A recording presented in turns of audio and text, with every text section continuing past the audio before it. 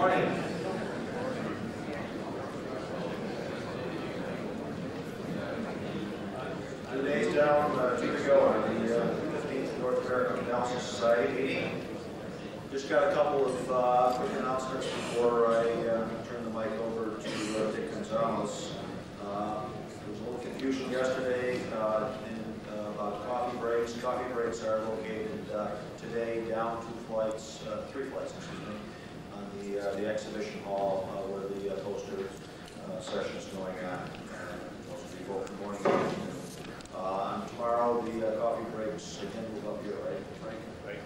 so that's uh, the breakdown of that room. there is a, uh, uh, regarding that, we asked people after the this morning's first lecture to move out of this room as quickly as possible because the sheriff's staff has to break down the room into two smaller rooms, so we want to get as much time as possible there. Uh, there's a pre-banquet reception uh, today. It's uh, 6 p.m will be located at the River Promenade, which is outside the exhibition hall right on the river, okay, weather permitting. Uh, it's supposed to be a beautiful day, possibly a little bit cool, which you can uh, move in and out uh, of the, uh, the river area if uh, need be. So it looks like it's going to be outside. Uh, there should be really uh, nice, hopefully there'll be some folks. Uh, banquet will be uh, in this uh, room. We're going to open it up uh, for uh, the banquet at 7 p.m. You will need a ticket, your, your banquet ticket to attend, so please uh, remember that during that time. With that, I'll turn the, uh, the uh, podium over to Dick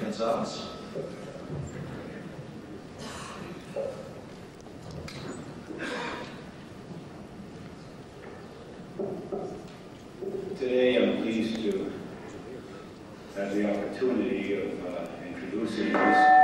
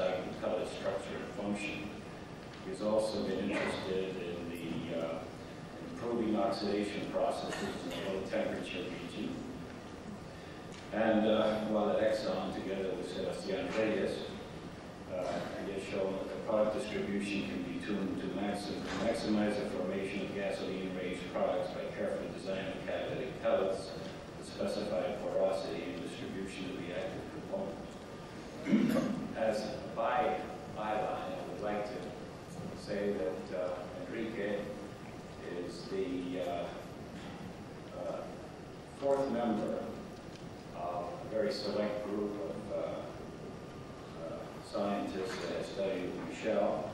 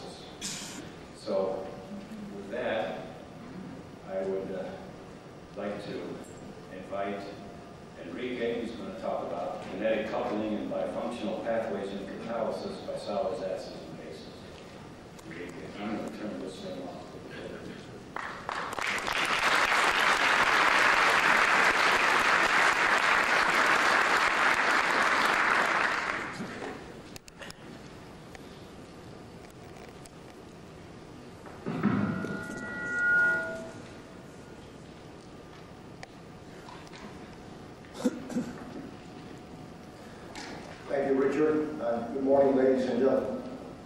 My thanks to the Catalysis Society for this honor.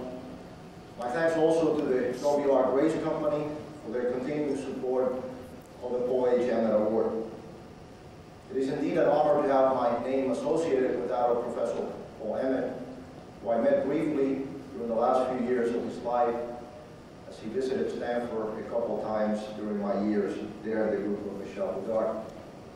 Little did I know at the time how much this brief contact was going to have as far as the kind of research and the approach to research that I took later on in life. I'm also honored, and perhaps honored is a better description, by the company that I now keep in that Emmett Award winners. My talk today will deal with how surface sites that may be located beyond molecular distances can actually interact and kinetically couple to the migration of a surface species. That surface species is going to be a hydrogen form on the surface, and the kinds of sites, at least one of them is either going to be an acidic or a basic At the risk of not being able to finish my talk, I would like to spend the first few minutes with the easiest part of this talk. And the easiest part of this talk is a series of acknowledgments. In chronological order of appearance, these are the people that have had the greatest influence in my life. Michel Boudart, who was my mentor at Stanford, and who has been my mentor ever since. Ross Madon, was my first mentor at Exxon, who protected me from the elements as I entered, and who taught me everything that I know about Fischer-Tropsch synthesis. Stu Soled was my second mentor at Exxon, who taught me everything that I know about inorganic synthesis and about characterization of solids. And also, who, even though he will never admit it wherever you are, Stu, taught me how to deal with the midlife crisis. Sebastian Reyes, who reminded me at a later stage in my life how much you can do to simulate reality with just a piece of paper and a computer, and who reminded me of a lot of the engineering that I had forgotten by then. Joe Baumgartner, who began as a technician, I think began as a technician somewhat begrudgingly given my reputation, and who very quickly became my colleague became an equal in science uh, until today. George Meitzner, who came to the Bay Area about the same time that I did, shows you that great minds think alike, and who has become an almost constant companion in my group at Berkeley and who taught me everything that I know about X-ray absorption. It turns out that in a different way, my most productive collaboration dates back to my high school days. Um, actually, to be exact, it dates to my chemistry class in high school. And many people perhaps would put here their high school chemistry teacher, but it turns out that my high school chemistry teacher was actually quite forgettable. I don't even remember her name. But the lady that was sitting two rows ahead of me was not. And with her, I've had a constant collaboration over the years, and I want to make sure that uh, she cannot be here today because she's fulfilling her part in this collaboration, critical role by staying home, and therefore cannot be here. To her goes 51% of this award, whatever that means. All that I know is that she said I could keep the plaque and she could keep everything else. well, these have been my teachers, all of them. And I can think of no better way to pay them back, to pay them back debt that I owe them, than to pass on the knowledge and the wisdom that they pass on to me. And with that in mind, I moved to Berkeley about uh, four years ago and began to try to do that with a very talented group of graduate students and postdocs. And I would like to put your names on. I'm very proud of this group. It is a group that has built something from absolutely nothing in a period of about three years, even though one is reluctant to choose among one's children. I still have to underline three names here because those three came truly with absolutely nothing in the laboratory. They are my first three academic children, and they have built not only the physical infrastructure, but the cultural infrastructure within the group. Coming to Berkeley has also opened up some possibilities for collaboration. I hope that these collaborations, like the ones that I previously uh, mentioned, will be able to last a lifetime, just like those have even 3,000 miles away from there right now. This is by far the easiest and the most enjoyable part of my talk, and now I have to get to the technical details. Even though the point that I would like to make is a fairly simple one, I'm going to bore you or entertain you, depending on your perspective, with some of the details by which we came to this conclusion. And I will begin by using two of the concepts that I introduced in the title and try to explain what I mean. Two concepts are kinetic coupling and bifunctional pathways. Kinetic coupling to me, and actually to Bodenstein many years ago and much later, Boudart, meant the ability of a sequence of elementary steps to proceed in spite of the fact that one of them may not be particularly favorable by thermodynamics. We could have a step which has an unfavorable affinity, a positive standard free energy, and this reaction will still proceed because one of the products of that first step will be removed by a second step. The second step that we drive away this product that caused this reaction, which is the reaction between H2 and Br2 to give HBr to actually take place. In effect, in much the same way as we talk about when we speak about membranes and other kinds of separation devices, this is a way of removing a product of a reaction in order to cause it to occur in a net way in the forward direction. This happens because the second step has a much larger constant than the reverse of the first step. Now, why is this useful? Because otherwise this reaction would not take place. Now, let me give you an example where this may become important. And the example that I would like to look at is on the left-hand side, we have a reaction which is attempting to take place on either an acidic or a basic side on a surface. And this reaction is actually bifunctional. It is bifunctional in the sense that invariably there's going to be a requirement that a molecule interact with at least two species perhaps the acid and the conjugate base, or the base and the conjugate acid. The point that I would like to make is that this star that we put here, which already contains more than one surface metal atom, may not be sufficient to carry a catalytic reaction to the extent that in the process of carrying that catalytic reaction, we need to remove one of the species from that surface moiety that we have there in order to cause chemistry to take place. If this stays right where it is, it is very probable that it will just reattach to that molecule and we will get exchange, but we will not get chemical reaction. What will often happen in this case is, is that this sites, which are physically separated from another metal cation or a metal site, will communicate, will be used in order to remove or introduce hydrogen in this molecule via the surface migration of those hydrogen species. This has been demonstrated for the case of alkane reactions, alkenes, alcohols, exchange of both basic sites and um, acidic sites. What I would like to do is to use three examples in order to show how this kinetic coupling actually may help to carry out some of these catalytic reactions. And what I will do is I will talk first about catalytic dehydrogenation of light alkanes with emphasis on reactions of propane, although I will touch on reactions of methane. This is work that has been done by Joe Biscardi at Berkeley, by Joe Baumgartner at Exxon, and by George Wiseman.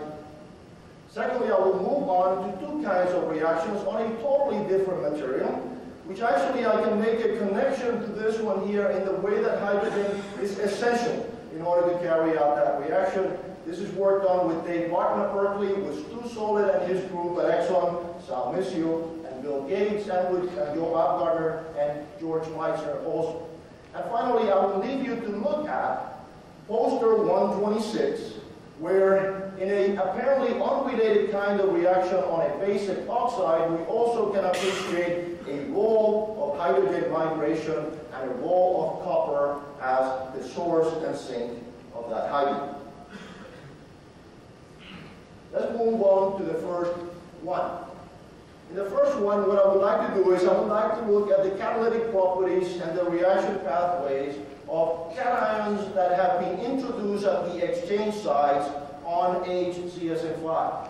And I would briefly like to talk about at the end on reactions of methane and propane, both together and separately, on another kind of cation exchange zeolite. I would like to couple this with an identification of the kinds of sites that are present and required to carry out both the acid chemistry that is involved and the dehydrogenation chemistry that is an essential component of that overall reaction. And I would like to do that by using in situ spectroscopic technique and some site titration method. And finally, I would like to briefly talk about how we have detected the migration of hydrogens between these metal cations and the Bronsted acid sites that we have in those, on those cations. First of all, a short introduction and an attempt at explaining to you what may be unique about these materials. The materials, of course, are zeolites and therefore acquire a ne negative charge as a result of a cation substitution in the framework.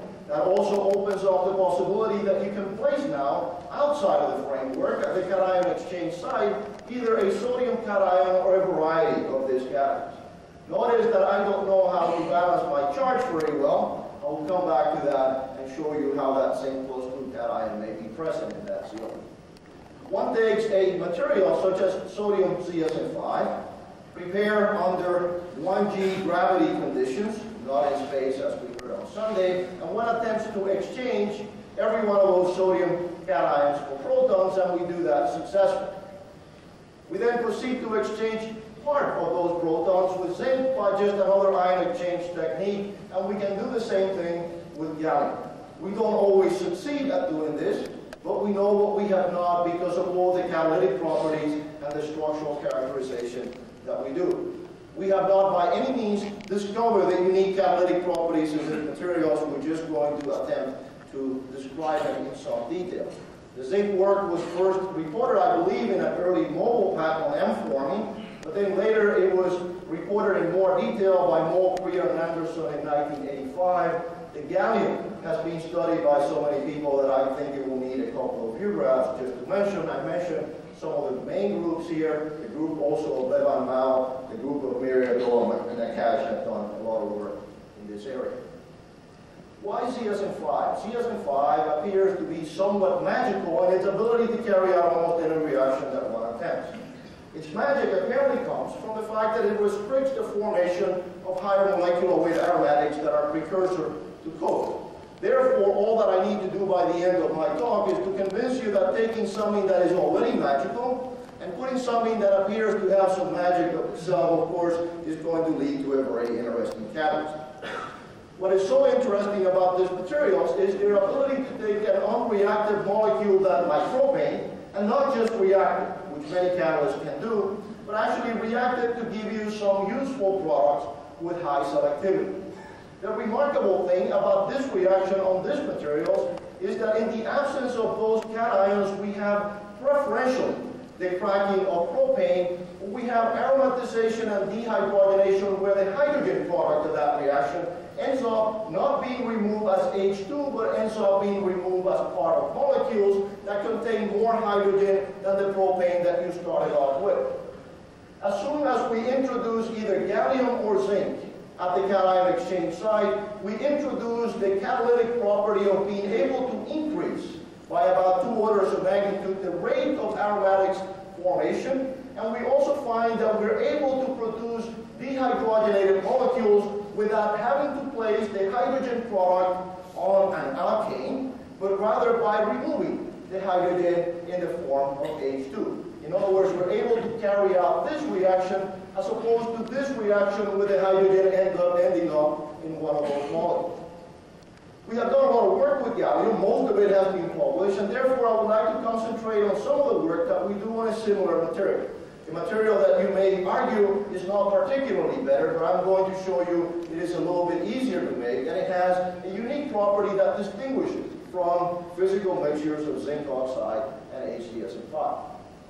The first attempt at obtaining the mechanism of this reaction leads you to speculate that there must be something very complex that takes place inside this box in order for you to be able to make such a complicated mixture of products. How do you get from a simple molecule like propane to a variety of products? And moreover, how do you take propane and make a distribution of aromatics that contains a fairly broad range of molecular weight? What happens inside these dotted box? Well, when one encounters a box like this, the first question that one must ask is, how do you enter?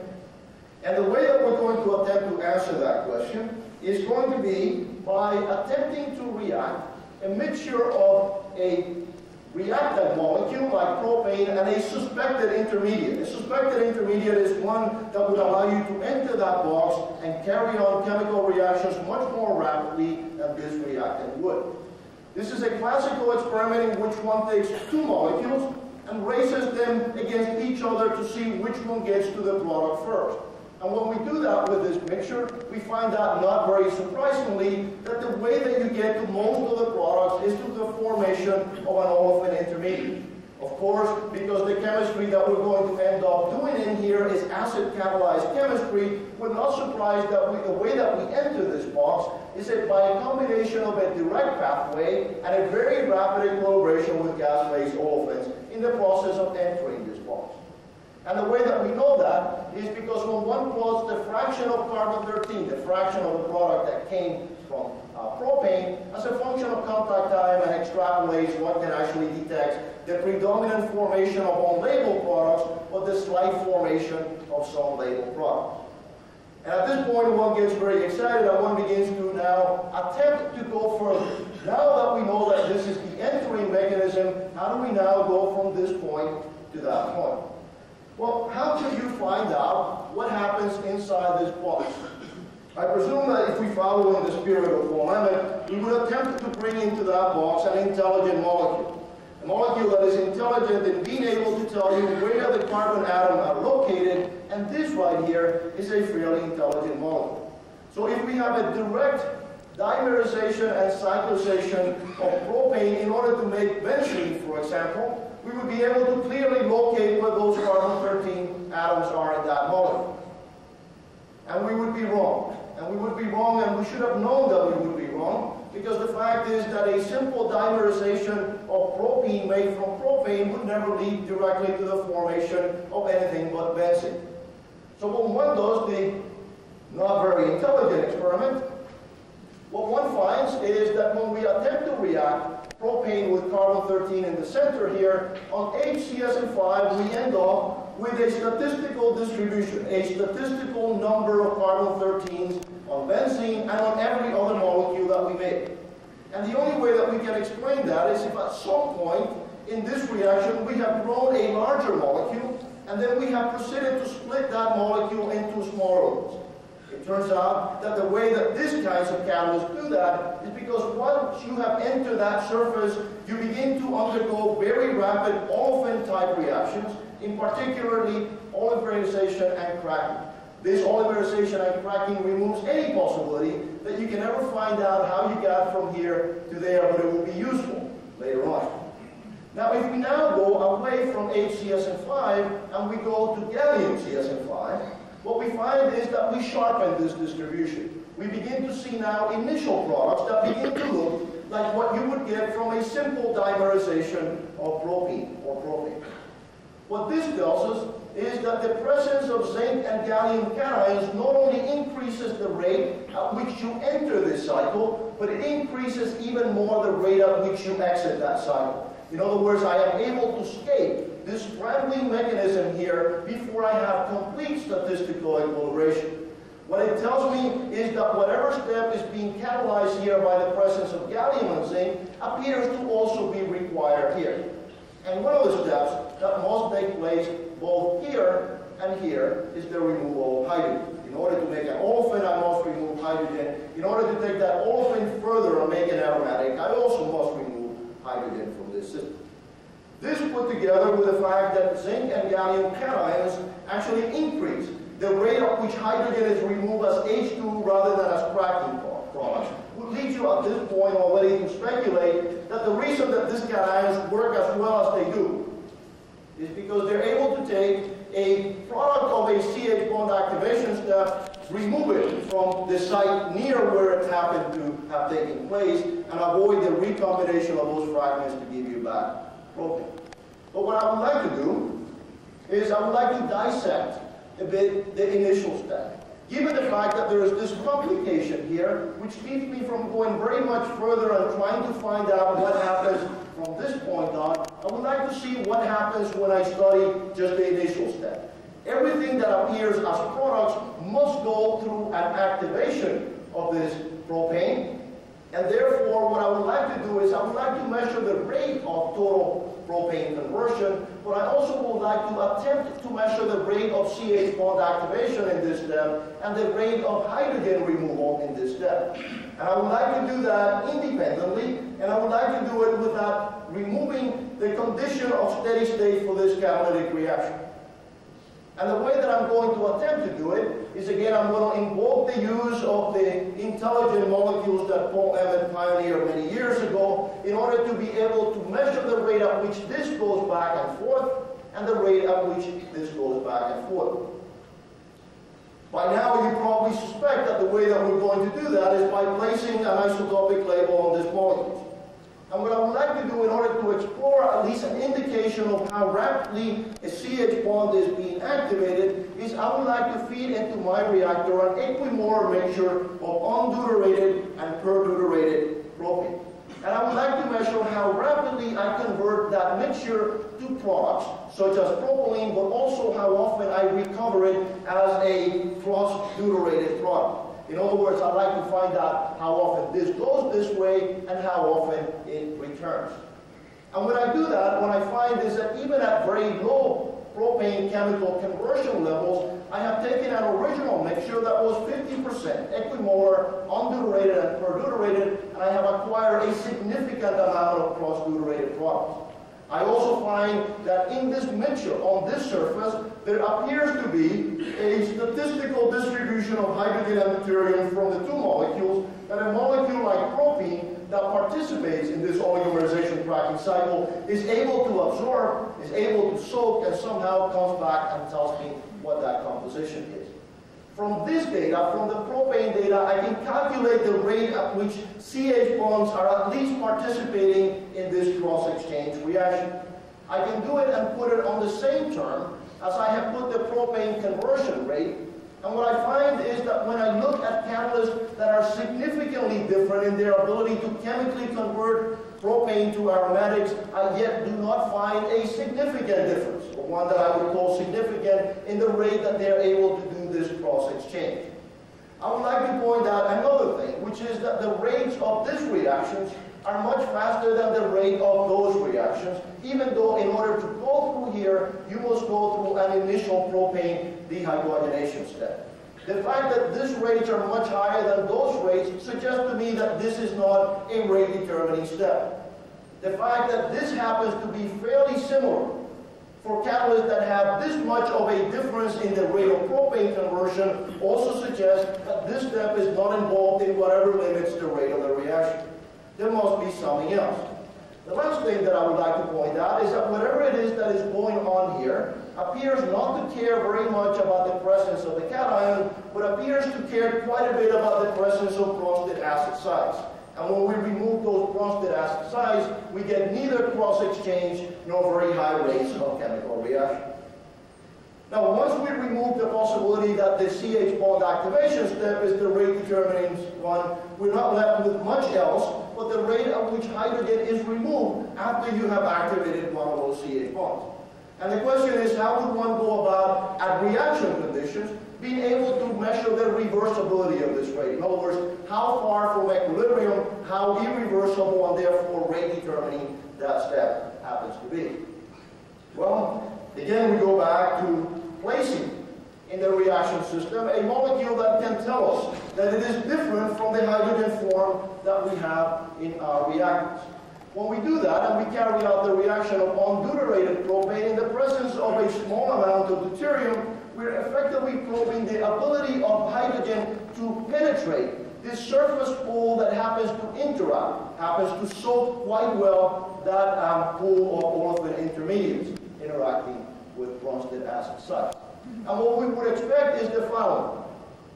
If we have an irreversible hydrogen desorption step in this reaction scheme, We will have a rate of the reaction which is unidirectional. There will be so much hydrogen on this surface trying to get out that deuterium will be hard pressed to be able to compete against that hydrogen coming out. And therefore, we will expect a very low penetration of deuterium into that surface pool and therefore into the reaction intermediate. However, we are now at this point blessed by the fact that we have this oligomerization cracking cycle. Because the product, every product that comes out of that oligomerization cracking cycle has managed to interact with that surface pool so well that its distribution is binomial, its distribution is the same in every product, and its distribution is unaffected by contact time, so it is not a secondary reactant. The products that come out carry information about the ability of this surface pool to eliminate the hydrogen that I am forming CH bond activation steps and the ability of this deuterium to penetrate this pool. It is measuring the reversibility of that particular step. Now remember, we only have now one choice for the rate determining step, and it better be this one. In the case of HZSM5, the total amount of deuterium is only 2.5%, even though the gas phase is exclusively deuterium at this low conversion. As soon as we introduce the presence of one of these metal cations, we increase the concentration of deuterium in that surface pool. Same amount of deuterium in the gas phase, but now a more reversible hydrogen absorption-desorption step we appear to have, in the process of putting zinc and also gallium in this material, to have removed the lack of communication that exists between the surface pool of hydrogen and the hydrogen pool in the gas phase. We have increased the reversibility of a step, and that tells us that we have placed a catalyst there that acts on that particular step. And the step on which zinc and gallium cations appear to act is indeed on the removal of that hydrogen. Well, with some trepidation, I'd like to make an analogy here. I'd like to make an analogy um, to what happens if one has a process into which we're bringing a certain amount of hydrogen in a CH bond activation step, and we are attempting to eliminate that hydrogen by removing it either by placing it on another hydrocarbon fragment or as H2. The analogy goes as follows. The rate of this step is determined by the rate of CH bond activation, which appears to be fast. The rate of this step has to be equal to the rate of that step at steady state. And the only way that this system can do this is effectively by increasing the chemical potential of hydrogen on that surface. In my analogy of a tank here, if I have the same amount of water coming in here as going out, and this wall is larger than that one, I'm going to have to build a head of water above that tank in order to maintain. In effect, the surface of HZSM5 is hydrogen rich because it is desperately trying to get rid of that hydrogen. The ability to place zinc and gallium cations in there lowers effectively that hydrogen virtual pressure, that hydrogen content on the surface, and allows you to carry out dehydrogenation reactions. Now notice that I can actually dare to calculate from the amount of hydrogen and deuterium that I have in every one of my products, what the surface composition of that surface is in hydrogen and deuterium. I will take the next leap of faith to say that in the absence of a kinetic isotope effect, I can actually calculate what this surface thinks that it is in equilibrium with. And it thinks it is in equilibrium with a 133 kPa pressure of hydrogen. It is a very hydrogenating surface because it thinks that it has that hydrogen pressure. That is the hydrogen pressure that you must have in order to be able to maintain steady state at the rate of CH bond activation. There's actually a positive effect due to the fact that the presence of these portholes, as Sir Hugh Taylor called them, for the removal of hydrogen lower that surface virtual pressure. There is a positive effect and there is a negative effect. I hope that by now you can see what the negative effect is. As I make that surface less hydrogenated, hydrogen poor, absolutely, I increase the selectivity to aromatics, but I also increase the rate of deactivation. Herein lies the compromise that makes zinc and gallium HZSM5 a reasonable catalyst. They are able to remove hydrogen enough to be able to do aromatization reactions but they do not go as far as a metal side would by removing all hydrogen from the surface, give you a high selectivity to aromatics, but for a very short period of time.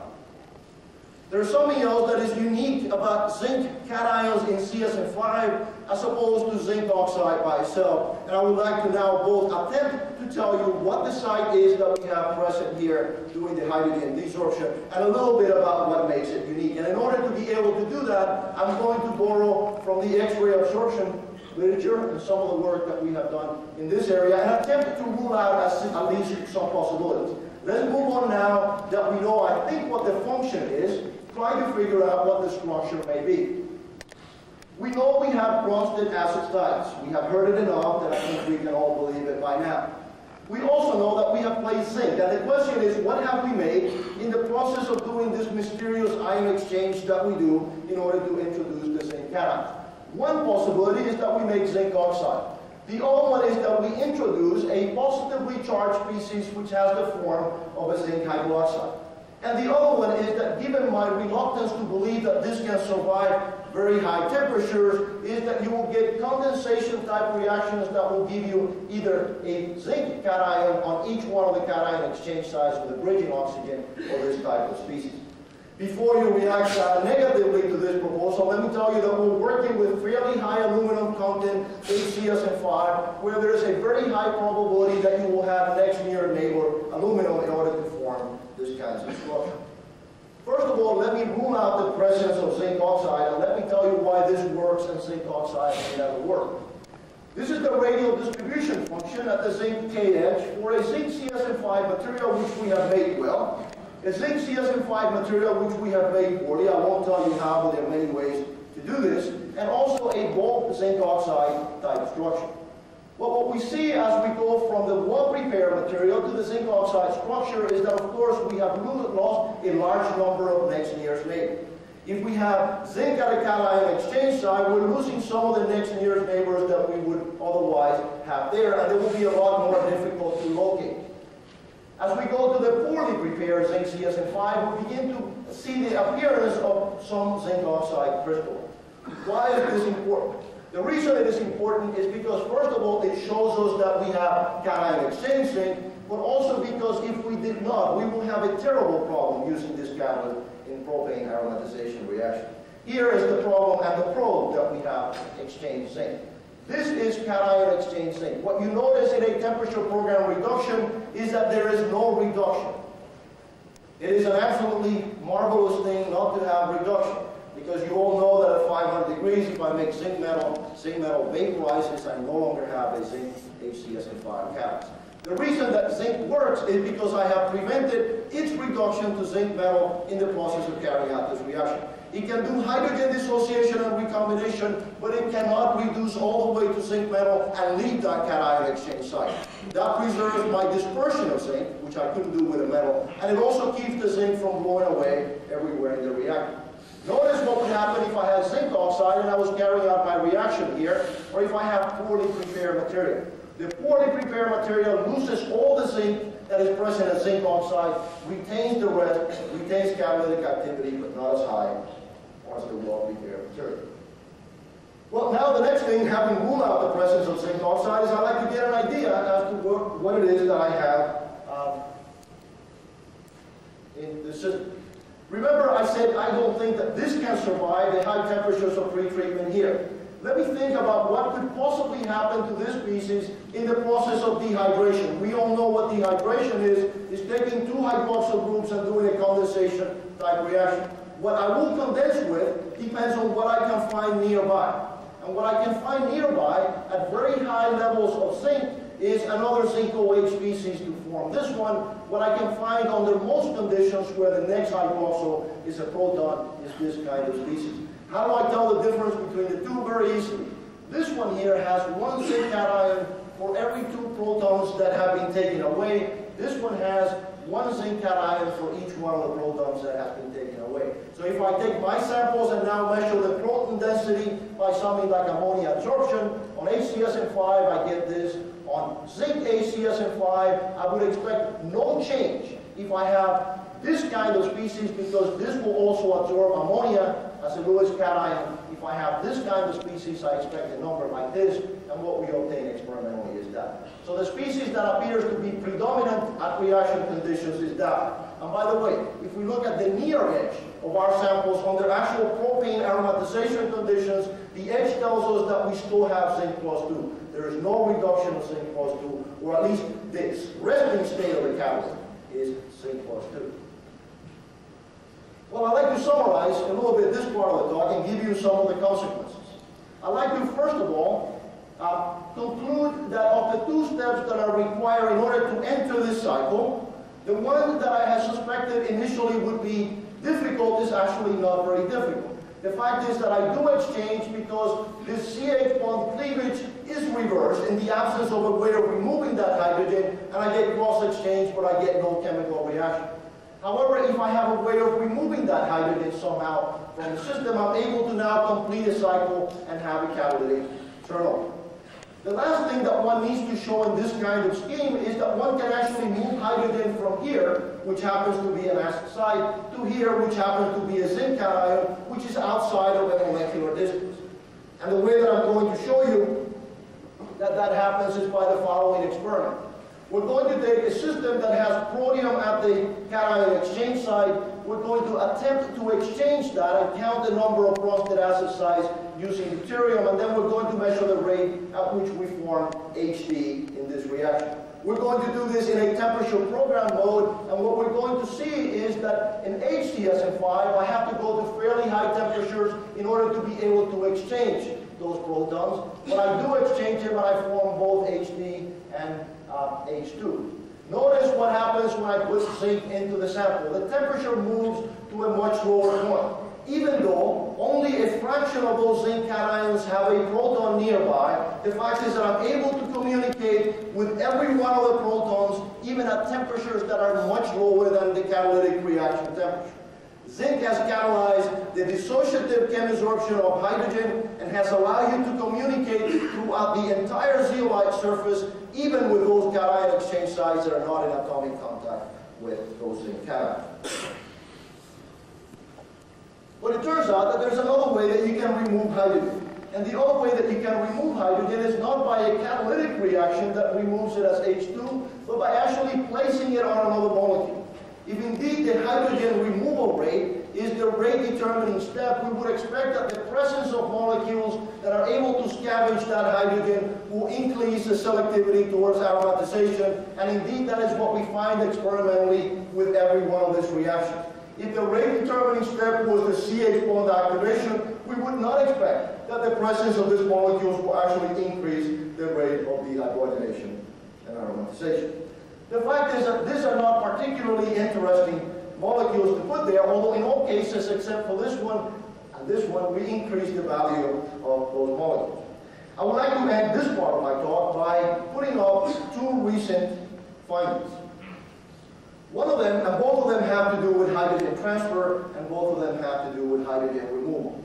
One of them is a recent article by the group of Choudhary, in which they found that when they react methane over a gallium ZSM5 catalyst, nothing much happens at this low temperature. But if there's propene that is present in the reaction system, even if the propene is 100% converted, they begin to get a significant increase in the amount of methane. Their proposal is that they are transferring hydrogen from methane into this propene and therefore driving this chemical reaction that would otherwise not occur. I'd also like to quote briefly for some work, uh, about some work that is going on in our group. We have taken a molybdenum ZSM5 catalyst that has been developed in the Dalian group and the group of Professor Jack Lunsford, and which happens to take methane quite selectively to benzene. And we have removed the thermodynamic limitation for this reaction by transporting hydrogen across a ceramic membrane and carrying out the reaction with oxygen on the other side. Notice that this is indeed oxidative coupling, and that it is oxidative coupling as nothing more than hydrogen transfer from a CH bond activation site to a hydrogen removal site on the other side of that membrane. Well, I hope that I have made the point that I have kinetically coupled something that breaks a CH bond with something that removes a, a hydrogen form, and therefore I can drive a reaction whose normal tendency otherwise would be to reform the reactants again, to go back to form propane all over again. And now what I would like to do with the last 20 minutes of my talk is to attempt to describe to you what would appear at first sight to be a totally unrelated system, but I will try to make the connection um, at the very end. The other system that I would like to look at is a system which operates at much lower temperatures and which uses also a Bronsted acid of a unique type, but one that is not zeolitic in nature. The acid is going to be a tungsten oxide on zirconia type material that sometimes will be promoted by platinum. I would like to look at the catalytic properties for two kinds of reactions, what would normally be termed a bifunctional reaction and what we would like to consider in most cases to be monofunctional acid chemistry. I would like to look at the mechanism of this reaction, and I would like to also begin to tell this more interesting structural case what species are formed and what is the role of hydrogen in forming those species. And finally, I would like to make a connection between Bronsted acid sites and redox oxides on this material. At this point in my class at, at uh, Berkeley, I get very tired and I ask for questions from the audience, but I won't do that.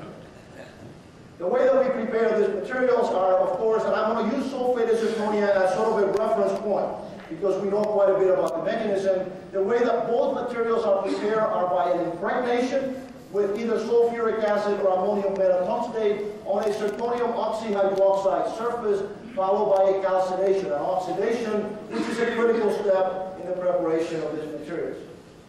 If we need platinum, we will impregnate it from an aqueous solution using a tetramine platinum hydroxide. You can look at uh, how far back some of this work dates on sulfate of zirconia. We did some of the work on the platinum promoted zirconia. There's quite a bit of work on tungstate of zirconia, especially recently from the group of Gustavo Larsen. Well, why tungstate of zirconia when sulfate zirconia everybody's involved with? Well, one of the reasons is because when we look at the catalytic properties of sulfate of zirconia, never mind the fact that some of the sulfur doesn't stay around forever, what we find is that the selectivity to isomerization on these materials is very much higher than it is on the sulfate of zirconia, and that the activity, the rate of this reaction on tungstate zirconia is every bit as good as it is on sulfate of zirconia. We expect that the mechanism of this reaction is going to involve some sort of acid chemistry, and the products that we make testify to the fact that that is what's going on here. And we would like to do a couple of things. We would like to be able to explain the differences between these two, but also we would like to explain a very unique effect of hydrogen that we find on the rate of both of these reactions. And in order to do that, I would like to take you back to the days of sulfate of zirconia and then return to the present again.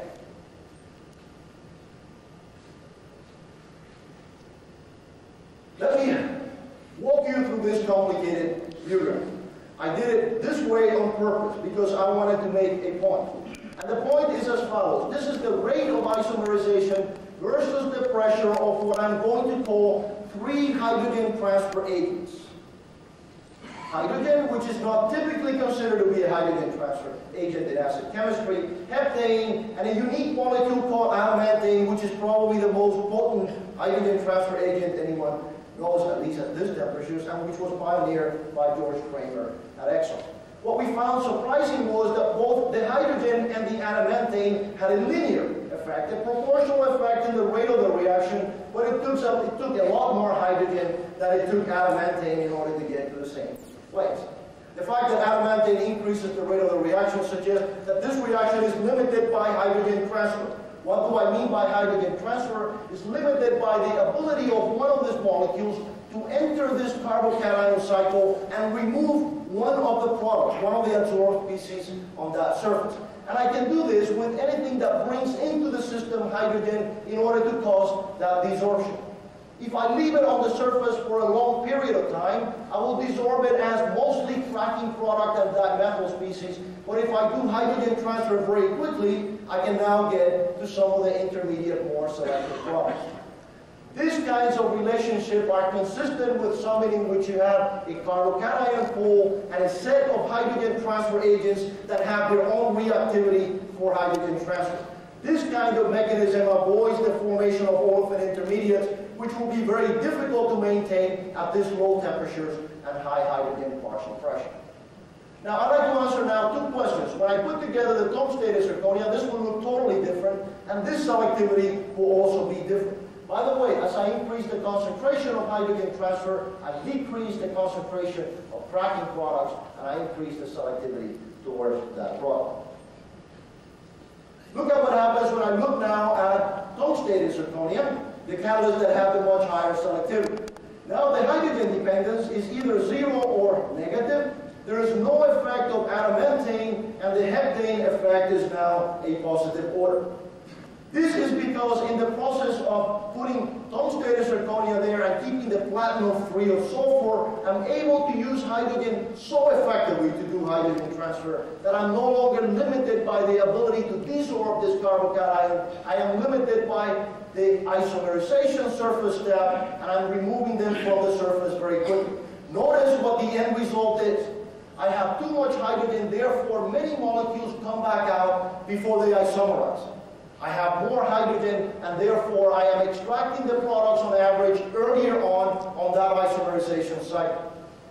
Notice that the fact that we're able to introduce hydrogen in here causes hydrogen to have a negative effect because now this has a tendency to leave before it actually reacts, and you can actually describe the kinetics of this system by this kind of rate expression.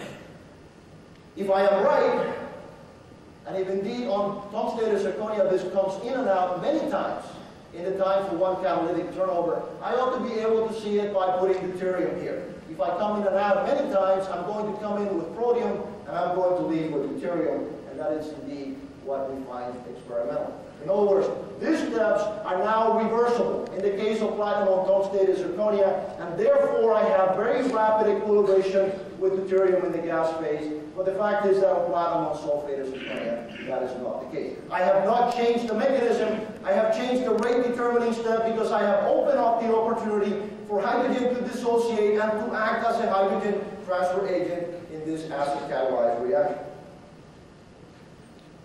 Well, let me talk for just one minute about possibly how this could be taking place, and then I will return to it at the end. How do we activate hydrogen, and how could we possibly generate Bronsted acid sites? By taking platinum that has been stabilized on a platinum crystallite, which we know we have there, and transferring to a tungsten oxide species, and actually cause this species to accommodate that hydrogen, and I will give you evidence that I can accommodate that hydrogen with a possible slight reduction of one of those tungsten species. Notice that the same kind of mechanism, when I have a carbocation on that surface, allows me to also desorb that carbocation. I can now react that hydrogen with the carbocation, return the tungsten oxide species to its resting state, and be able to complete a catalytic cycle. There's an analogy between this and the Keggin anions that Professor Mizuno and Professor Moffat have talked about, although the analogy is chemical rather than structural at this point. We also have evidence for the fact that we are placing hydrogen on the surface of tungsten zirconia and also of sulfate zirconia. The evidence comes from the fact that room temperature chemisorption of CO leads to a number that is in very close agreement with trans transmission electron microscopy, but the hydrogen to platinum ratio is much higher, and this is actually strongly held hydrogen. So we have effect, in effect have spillover, not surprisingly, since the first evidence of hydrogen spillover came from the work of Khoobiar and the work of Boudart on this kind of tungsten bronze type material. We also have evidence from the work of Professor Hattori in which he finds that even on sulfate zirconia, there is a significant amount of spillover that actually increases as you increase the temperature. And then he measures the hydrogen desorption on the temperature program desorption condition and therefore detects the presence of hydrogen on the sulfate zirconia. He has also done the experiment by looking at the infrared of adsorbpyridine after various hydrogen treatment temperatures and also finds that the Bronsted acid size on sulfate zirconia actually require that you have a small amount of platinum and some hydrogen in order to get a fairly high density of those Bronsted acid sites. Well, I would like to go away from the complicated one. I'd like to give you the evidence for some reduction in the system. I gave you the evidence for spillover. I'd like to show you what happens to the near edge structure of a tungsten oxide species around the tungsten edge as I take a platinum on tungsten zirconia and I increase the temperature to close to the point where I have the carry a catalytic reaction and I do this for about one hour, not three or four hours like we do for the catalytic reaction. What we find is a decrease in the magnitude of this peak near the edge. This is an indication of reduction this on the right-hand side shows a temperature program reduction, which shows that somewhere near catalytic temperatures, you begin to acquire the ability to reduce tungsten oxide. The reason I have this one here is to show you the following. I want to introduce the concept of a surface density of tungsten on the surface of zirconia, and I'd like to show you that as I increase that surface density, I move the reduction peak to lower and lower temperature. This is going to become important in a moment when I show you this magical effect of calcination for what I think now is a purely acid catalyzed reaction. And a purely acid catalyzed reaction, at the suggestion of Werner Haag a while ago, was xylene isomerization. So I would like to end my talk by telling you about some unique features of xylene isomerization. Not a very useful reaction. It doesn't make paraxylene with any high selectivity. Don't get your hopes up. But it's a pretty simple reaction. It is a reaction that in theory should take place by just the coordination of a xylene and a methyl ship. And yet it's a reaction which is reversibly influenced by the presence of hydrogen on these materials. The presence of hydrogen on these materials is essential in order to be able to form and maintain a Bronsted acid site as I showed previously. And it's able to do that even in the presence, even in the absence of platinum, by just going to slightly higher temperatures than what we were in the case of uh, the platinum-containing heptane isomerization. I would like to show you the following. This was very confusing for a very long time, but everybody has found this kind of behavior for both this catalyst and this sulfated zirconia catalyst. Notice what happens. There is a very narrow range of oxidation temperature over which the catalysts are active, and they're almost totally inactive outside of that range. The range of temperature that you need in order to be able to reach that activity actually depends on what the loading of tungsten oxide is on that surface. Now the question is, what changes as I change the loading of tungsten oxide on that surface? Certainly the amount of tungsten that I have on the surface. But what also changes as I change the oxidation temperature is the surface area of the zirconia that I have underneath that tungsten oxide. I would like to ask you to um, bear with me for a moment. I am going to make a transformation here that says maybe I can explain all of this by choosing not the loading or the calcination temperature, neither one of which are intrinsic properties of this catalyst, the things that we impose from the outside. And I'd like to pick an intrinsic property of this catalyst. The intrinsic property that I'd like to choose is the number of tungstens per unit surface area that I have on that surface. And I would like to see if what I'm seeing here is a change in the cluster size of that tungsten oxide as I move throughout that range of tungsten density on the surface.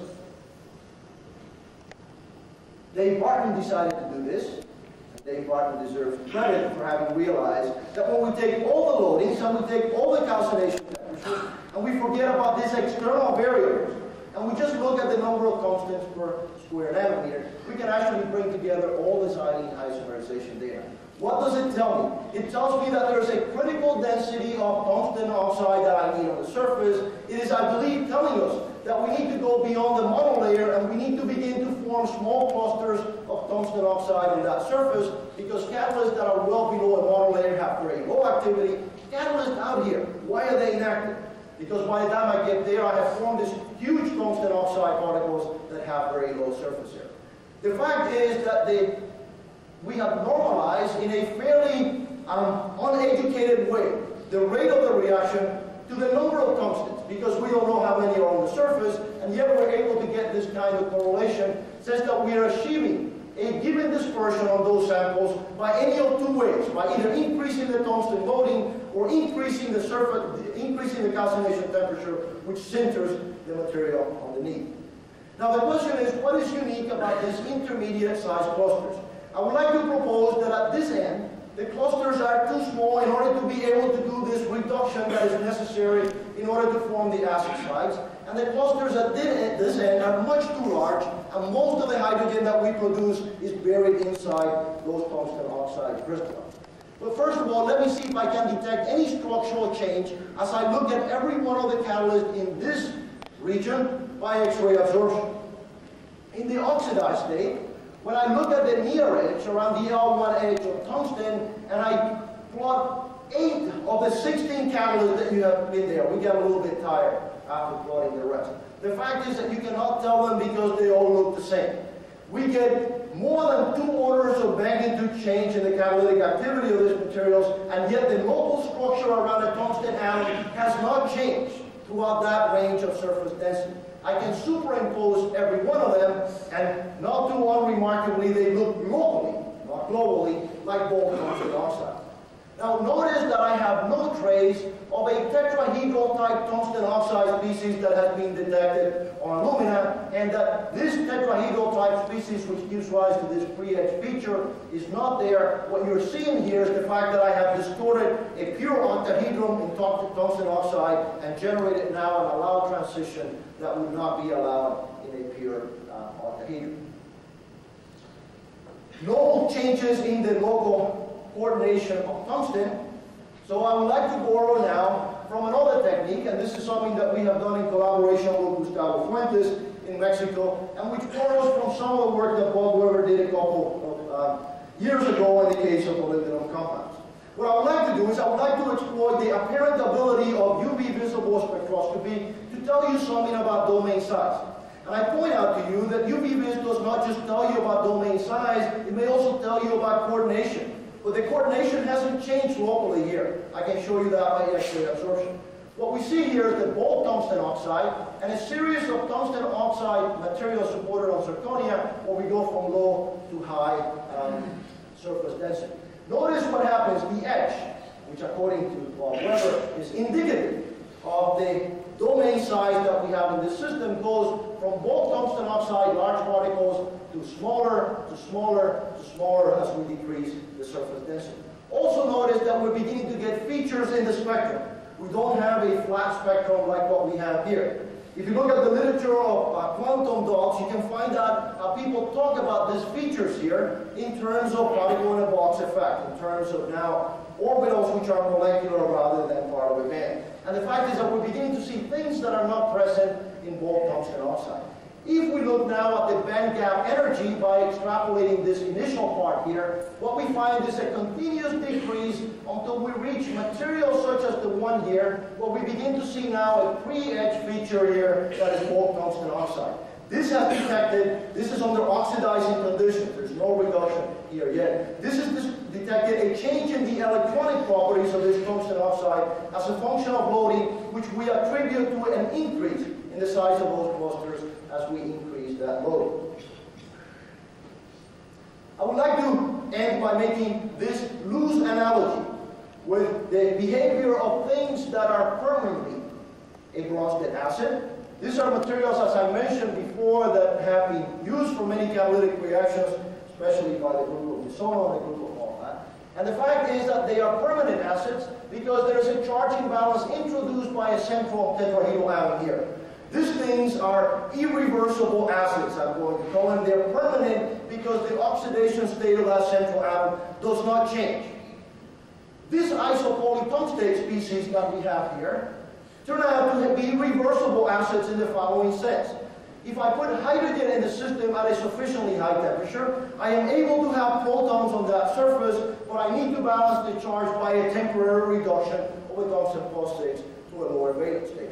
If I remove that hydrogen, as I do in the case of tungsten process, if I put now these materials under helium at a reasonable temperature, I lose both the acidity and the hydrogen that I have on that surface.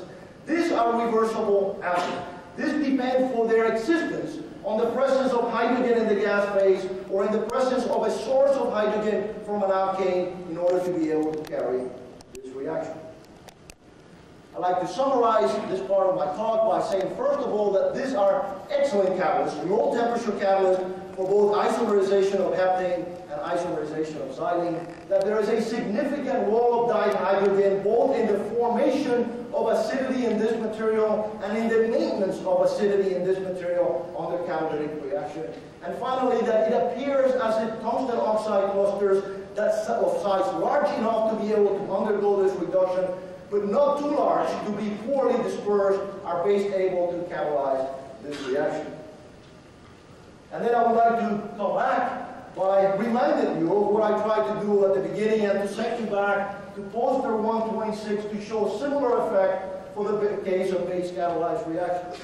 I'd like to remind you that in both cases, what we have done for this, what we have done for this catalytic reactions is to couple two sites which are separated. They're separated because platinum and tungsten oxide clusters are not necessarily next to each other, and because we know that zinc and protons on zinc ZSM5 are not next to each other, we have allowed them to communicate. And we have obtained unique effects in one case from the presence of hydrogen, and unique effects in the other one from the ability to remove that hydrogen.